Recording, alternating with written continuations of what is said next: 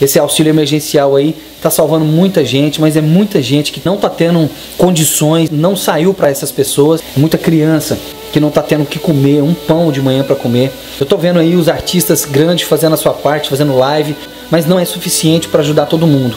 O que, que você acha que essas pessoas estão fazendo? São milhares e milhares de desempregos no, no Brasil inteiro. Eu quero levantar a campanha, a campanha Bandeira Branca. Qual que seria a ideia da campanha Bandeira Branca? Todas as pessoas que estão precisando de ajuda, colocar na porta da sua casa, todo dia acordar e colocar um tecido branco, uma camiseta branca, um pano branco.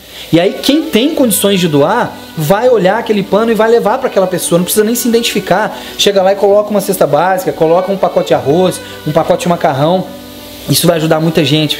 Você que está precisando de ajuda, simplesmente coloque um tecido branco na porta da sua casa. E você, empresário da tua cidade, que vê o tecido branco na porta da casa de alguém, você pode estar ajudando alguém. Dentro daquela casa pode ter uma criança, dentro daquela casa pode ter pessoas passando fome. E não tenha vergonha não, gente, de colocar o tecido branco. É um momento que nós precisamos se ajudar sim, é um momento que precisamos fazer a nossa parte.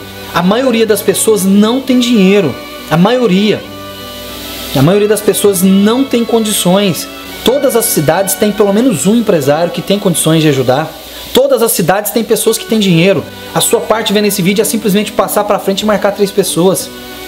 Para que esse vídeo viralize, essa é a intenção. Não deixa de ajudar não. É muita gente. Imagina se fosse o teu filho que tivesse que dormir com fome. Imagina se fosse os teus pais, os senhores de idade aí, ó, todo dia na rede social vai ser notícias boas. As pessoas vão começar a postar. Postei o meu pano branco, veio alguém me ajudou. Postei uma camiseta branca, um tecido branco no, no meu portão e veio alguém colocou uma cesta básica. Gente, vamos nos unir.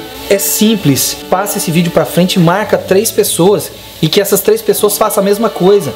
Passe para frente, marque três pessoas para a gente mostrar que nós temos força sim, que nós somos brasileiros e que a esperança não morreu.